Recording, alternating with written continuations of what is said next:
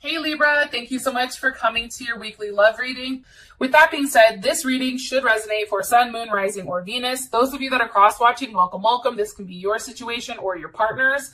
Libras that are actually watching this reading, because there tends to be a lot of cross watchers coming in, the situation sometimes can be reversed for you. So just keep that in mind when you're when when you are watching the reading. Um, also, too, if you like, you could always like, share, subscribe, hit the notification bell if you want to receive alerts for when I post my readings. Also, too, please feel free to comment. I love reading what you have to write and really interacting with you on that one on one basis. With that being said, Libra, let's go ahead and hop into your love. Who's Libra dealing with romantically? Who is Libra dealing with romantically? Who's Libra? Okay, Two of Cups. Beautiful. Uh, somebody may have a Cancer Venus, Gemini, or Pisces. Um, how does Libra feel about this person romantically? Okay. Ten of Swords. That's kind of interesting. We'll figure out. That's definitely Gemini energy. What's the current situation or issue between these two romantically? Current situation or issue between, okay. The Chariot, Cancer. Obviously, some type of forward movement. You guys can be at a distance from one another, possibly. Um, what is the current external influence or block for these two? External influence or block for these two romantically. Okay, the Ace of Swords. Obviously, it has to do with talking, a level of clarity, and what's the best potential outcome here for these two romantically. Woo, one more time. I don't like that outcome. Let's try one more time. Best outcome here for Libra and their person of interest romantically. The outcome for these two weeks for Libra. Okay, judgment. Also to be dealing with a Aries, a Scorpio, or a Capricorn. So I do want to say that. So first thing I want to say is this. I feel like there's one person who is very much in need of love. Like I feel like somebody is almost begging for attention or begging for a level of love, right? There's somebody that had there's a level of fear here pertaining to emotions and it can be that somebody doesn't want to face, you know, whatever events are coming. And I do feel like somebody definitely needs a level of reassurance here so with that being said, you know, it's like I feel like for some reason things are being kept hidden or things are not necessarily being expressed, which makes things challenging. It's also too, it's like this person wants to fight, you know, but almost like in a secret way, right? They're not necessarily willing to reach out and say, "Hey, this is what's going on," but they're kind of just sitting there pouting or like crying over spilled milk. So I do want to say that, and I do think it has to do with a love offer with the potential uh, intimacy with you, uh, Libra. So as far as your partner is concerned, Two of Cups, I mean, this is beautiful, right? You know, there is a level of duality here with your partner, but also a lot of love.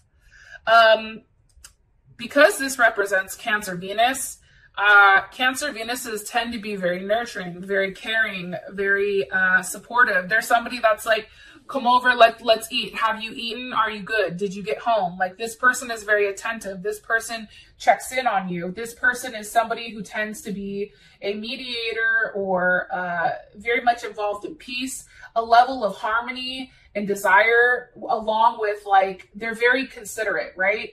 Uh, they tend to be diplomatic warm and also peaceful this person bends over backwards to keep you know keep the relationship running and they do provide a level of emotional security which i personally like. I also think that they don't they have a very deep dis- dislike for anything that's not working or or discord right? It's like they are willing to work hard in order to keep the peace and this person is very attached to their home and their family and i feel like once they are devoted they are a very stable partner who can maintain that level of harmony and balance. Give me more information about Libra's person of interest here. Okay, Six of Swords. Um, they can be at a distance from you, Libra. Also, too, I feel like the Six of Swords, that's Mercury and Aquarius. You and this person, I feel like, may, like, how they come across or how their level of communication tends to be a bit a bit like brash, right? It's like they're trying to translate something to you or transmit something to you. Um, you know, in order for things to have a level of forward movement here, but sometimes it just comes off as very harsh. But also, too, this person is very real. It's almost like what you see is what you get with this person. Like they don't try to polish themselves up in order to appease anybody. That's something that's also coming in. Where is the Six of Swords moving towards? The Princess of Wands, a new start. Okay. That can be uh, Leo, Sag, or Aries. Here's what's interesting. I do think that your person may have a level of immaturity, okay? I am going to say that. But I feel like it's because they're still growing or there's something that's still unformed uh, between you and them. And it's something that's kind of coming together, right? This person may also be somebody that's very passive, okay, and receptive. So, like, they want you to come to them. They don't always want to have to go to you. What's starting here for Wands? That's Venus and uh, Aries. But also too, it's like they want to, they want you to approach them on asking them out. They want you to approach them on, hey, you know, what can we do here? How do, how do we make this work? Four Wands is a love about stability. It's about community. It's about, you know, I always think of these two, 11, 11, right? One, one, one, one. Um, it's also about things just kind of being in place when and where they're supposed to be. I I really do like the Four of Wands. That's probably one of my favorite cards um, in the whole deck because it's about an agreement. It's also about a level of harmony and also a level of intimacy.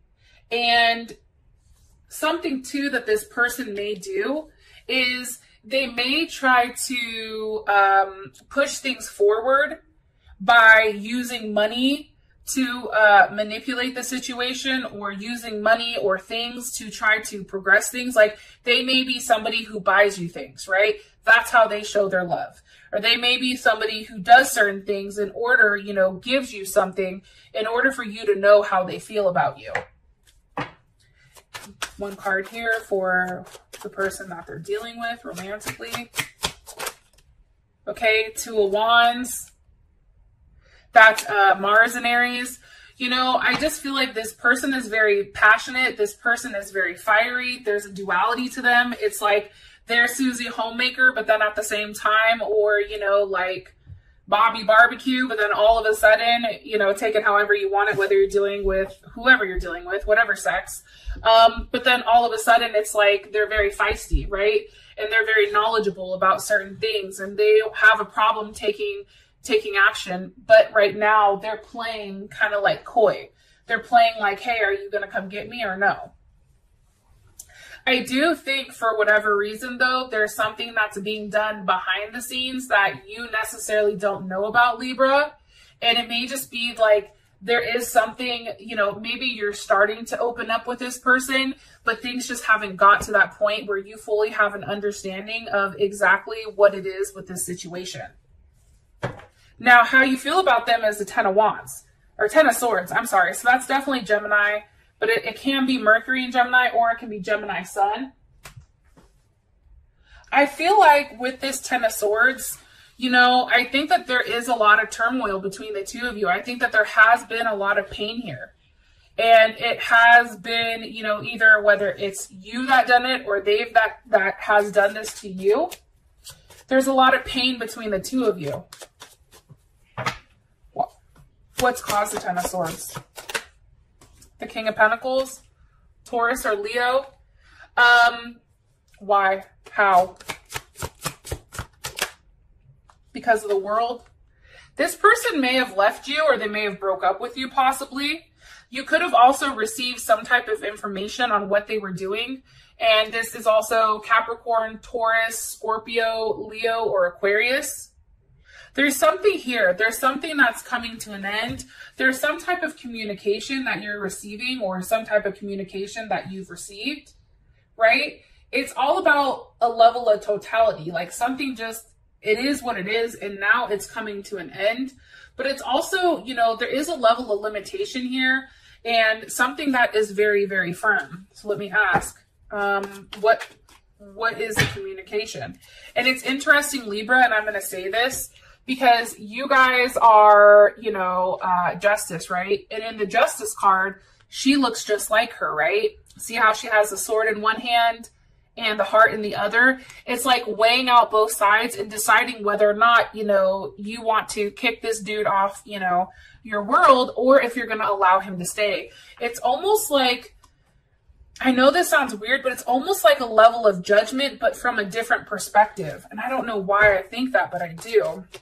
What's what's ending here with the world? What's coming to a conclusion with the world?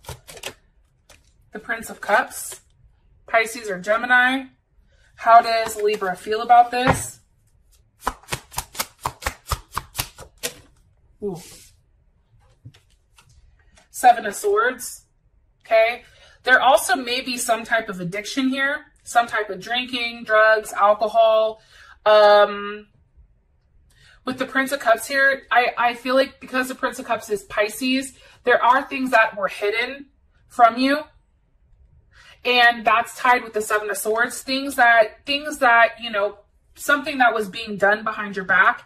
Maybe your partner uh, libra was talking to a gemini or a pisces um, and they were kind of doing it behind your back and this has led you in a place where now you're like kind of like wow like what the hell? How did this even happen?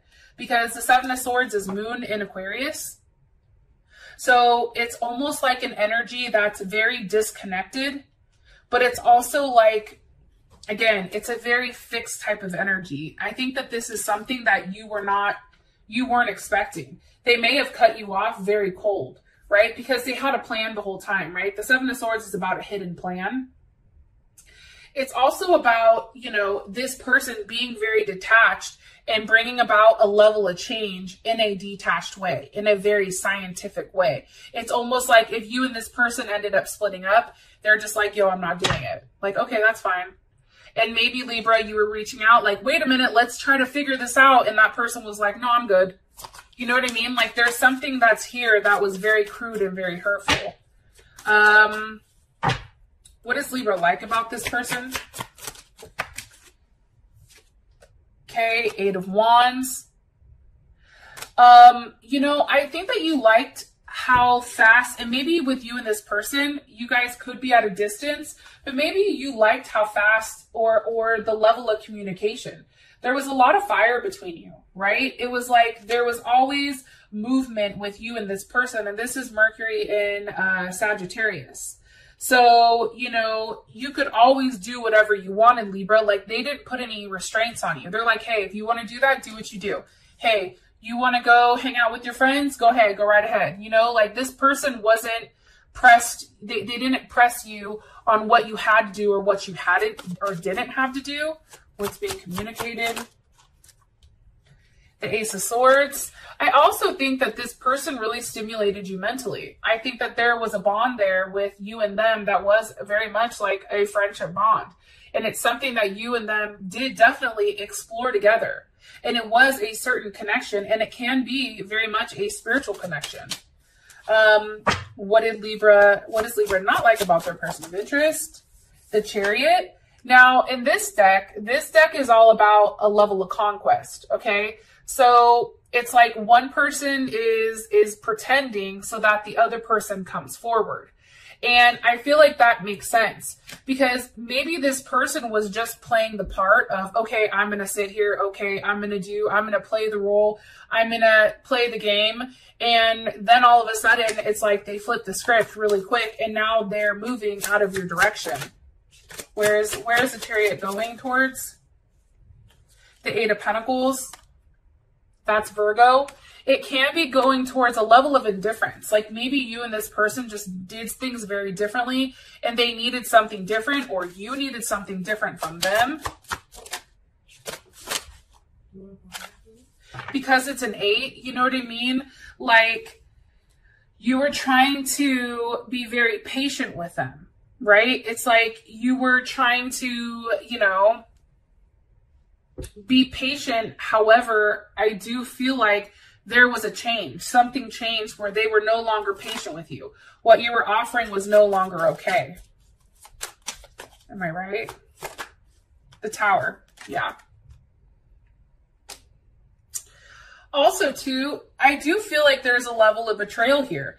And it can have to do with the fact that you've invested a lot of time in this person and you genuinely love them. There's the lovers with the Seven of Pentacles, right? And that's Taurus and Gemini. And it can be the fact that whatever you've invested into them, it's just for them, they're still fighting it. For them, it's just not enough. And there is a level of clarity that's needed on your end. Like maybe things ended in a way where they just didn't make sense. It didn't make logical sense to you why things happen the way that they do or why things happen the way that they did. Your current situation, you have the chariot. So, um, what is, uh, how does Libra's partner or person of interest, how do they view, what is their perception of the situation? What is their perception of the chariot, the Ten of Wands? Okay. And what is Libra's perception of the chariot as a situation? The devil. Okay, so this is interesting. So for your person, I feel like, you know, this was something that was weighing heavy on them. This was something that had to transform, and this may be something that they felt like they had to move on from. Because the Ten of Wands, you know, that's a card where somebody's really trying to pull something along, but it's a level of oppression and fatigue and burden. I just feel like this person was burnt out and that they really needed to focus on being free at many different levels and being open. You know what I mean? And I think for whatever reason, being in a relationship just wasn't, it just was kind of bogging them down. Let's take a look at that. Okay. You see how he's straining? It's like, he's trying to pull it along and it's just not moving. It's just not going anywhere. So maybe movement or distance was definitely an issue, but how you feel about it is now it's the devil. So, you know, you may have a level of fixation here with this person. Why does uh, Libra feel the devil? Why, why, why is that? Why? What's the energy of the devil? The Four of Cups. Now you're fixated and you're very focused. And now it's almost like you're waiting for them to come back. This is a Cancer moon, moon in Cancer. It's like you're sitting there waiting for some type of offer to come in or, you know, you're sitting there because now you feel a level of, of being rejected, right? And difference. And now you're scared that maybe you've lost this person for a very long time. However, it's like, you know, you want to affect a level of change here um, in a very careful, but yet a very like structured manner, especially with that moon in moon in Cancer. Now let me keep going because I do want to get some more info, uh, questions in here. Um, what, where is the chariot going towards for these two? One more time. Where is the chariot moving for these two romantically for the situation? Where is the chariot going? Okay, to the Ten of Pentacles. Um, and that can be a completion. That can be home. That can be a lot of things with the Four Wands. So that's what's interesting. The chariot is moving on in a direction. So, so let me, let me say this to you. Sometimes we have to let things go in order for them to come back and come back whole, right? And how you feel about this situation is the devil with the four cups. It's like your emotions are involved, involved. They're very, they're very high emotions, right? There's a level of intimacy here.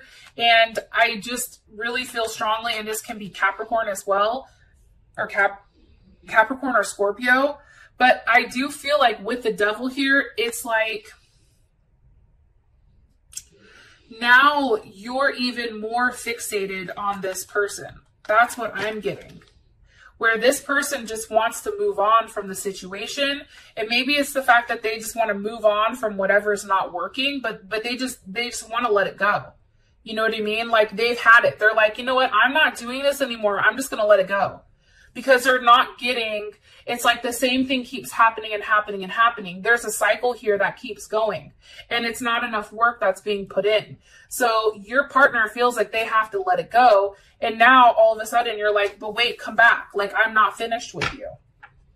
Now, what's interesting is the chariot is now moving towards the Ten of Pentacles and, and the Ten of Ten of Wands, and that's um, having a conversation about a level of stability. That's Mercury in Virgo and Venus in Aries, right? Um, how does um, Libra's partner feel about this? The Empress, they're like, go ahead, I'll allow it. And how does Libra feel about this?